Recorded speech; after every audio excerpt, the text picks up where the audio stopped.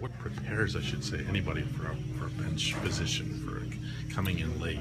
Uh, I think it's just experience. Realistically, you're not doing it down there either. Yeah, it's just experience, um, almost like trial and error. You know, I mean, um, playing in American League, I didn't do much, but my first year, I also came in the game late to play defense and didn't get used as much as pinch hit because of American League, but um, had some experience there. And then last year, getting a chance, being up three or four times, and um, you know, feel like I got it under my belt a little bit, and then um, you know, more prepared now than I ever was.